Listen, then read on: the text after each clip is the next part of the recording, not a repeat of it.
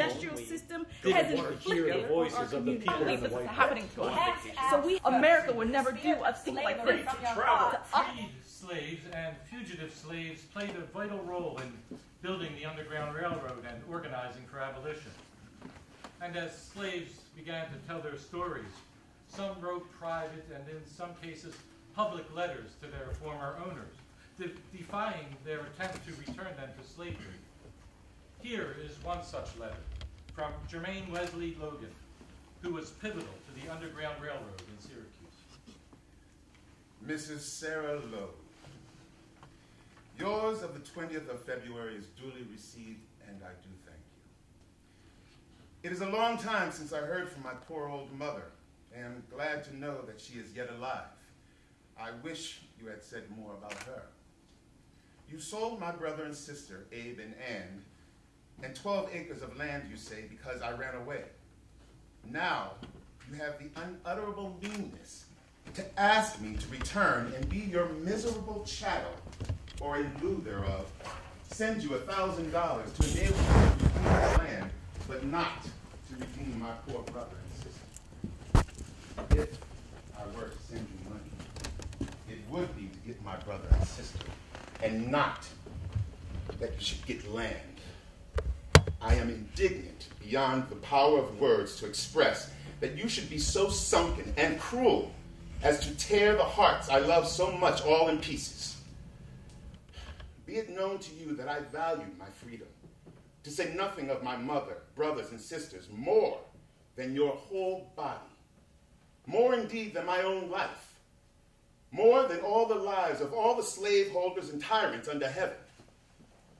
You say you have offers to buy me, and that you shall sell me if I do not send you a thousand dollars. And in the same breath, and almost in the same sentence, you say, You know, we raised you as we did our own children. Woman, did you raise your own children for the market? Did you raise them for the whipping post? Did you raise them to be driven off, bound in chains? Or where are my poor bleeding brothers and sisters? Can you tell? Who was it that sent them into, off into the sugar and cotton fields to be kicked and cuffed and whipped and to groan and die?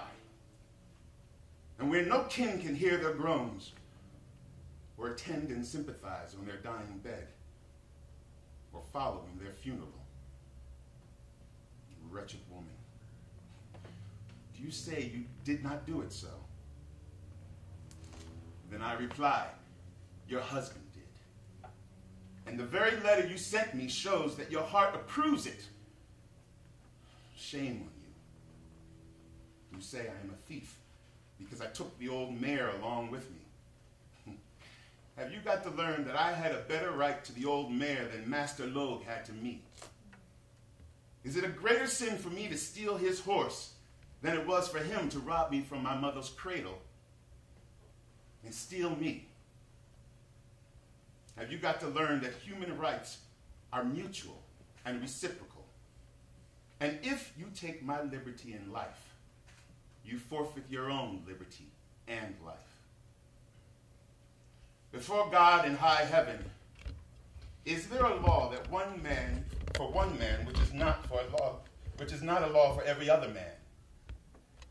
Did you think to terrify me by presenting the alternative to give my money to you or give my body to slavery?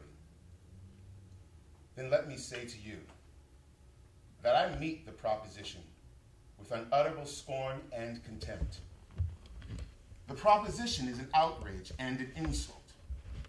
I will not budge one hair's breadth. I will not breathe a shorter breath, even to save me from your persecutions. I stand among a free people who sympathize with my rights and the rights of mankind. And if your emissaries come here to re enslave me and somehow escape the unshrinking vigor of my own right arm, I trust my strong and brave friends will be my rescuers and avengers.